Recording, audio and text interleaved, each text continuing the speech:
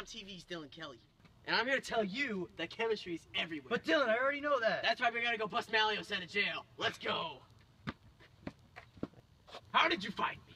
Don't worry about that. Come with us.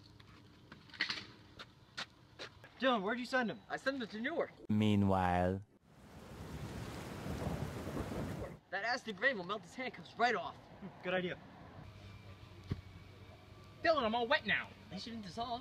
I wish I did, but why didn't I? Well, you see, because since you're non-polar and water's polar, you wouldn't dissolve because likes dissolve likes. Now that you're all dried off, would you like something to drink? Yeah, you know, I would really want to drink, you know? Iced tea, maybe some lemonade, Pepsi, Pepsi. Oh! Max, see all those ice cubes you just got hit with? Yes.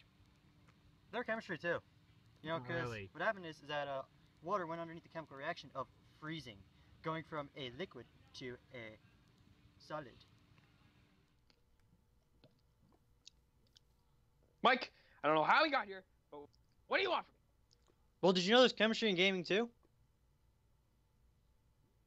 How come there be chemistry in gaming? Well, let me show you. See, Malios, look. We have lava, but if you put water on it, It becomes obsidian, and that's a chemical reaction. What?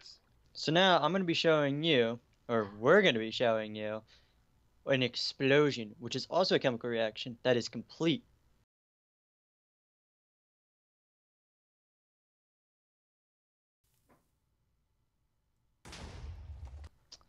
Well, Anthony, did you also know that there's fire in Minecraft, which is a combustion reaction?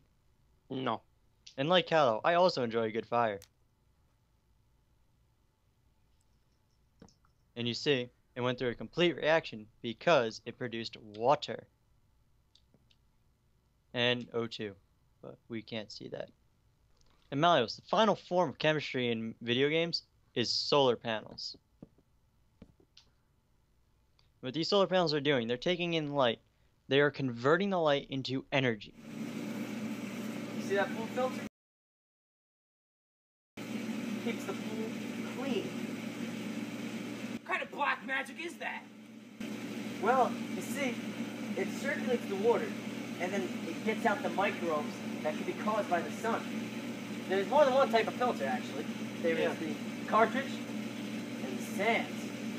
Yeah, see, Ryan, I have a sand filter, which does the same exact thing as this, but it uses sand to get rid of all the microbes. Pretty good. All right, come on. Nice, how you like that crystal clear water? Man, I just love that crystal clear water from the pool filter. Wow, you see that fog behind us? That's in Poland.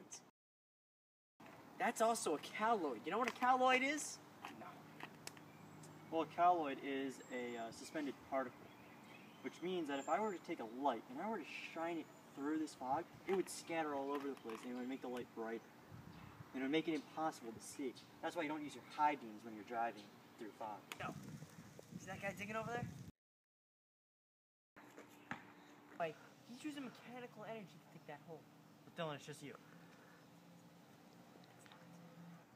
Bougie's photosynthesized. Does that count as chemistry? No, that's bio. But no one likes bio. But Dylan! Mr. Fritzy's awesome. He teaches bio. He's not Mr. Mahan awesome. You take that back.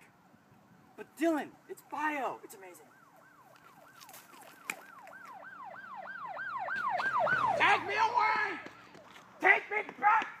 crazy scientist